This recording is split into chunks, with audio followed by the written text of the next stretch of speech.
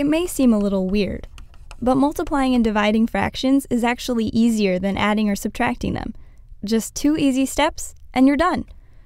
To multiply two fractions, multiply the numerators, or the numbers on top, to get the numerator of the answer.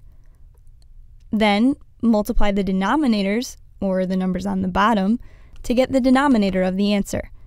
In this case, the answer is 6 over 35.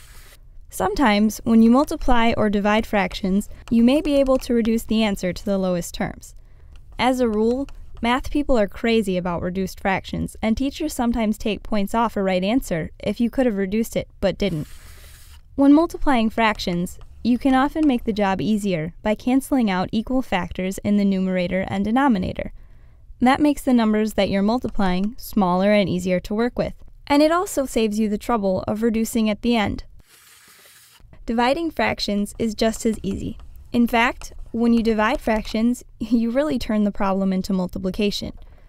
Start by turning the second fraction, or the divisor, upside down, making it into a reciprocal fraction. For example, 4 fifths becomes 5 fourths. Then change the division sign to a multiplication sign and multiply the fractions across. Here, we get 5 twelfths. And that's the basics of multiplying and dividing fractions.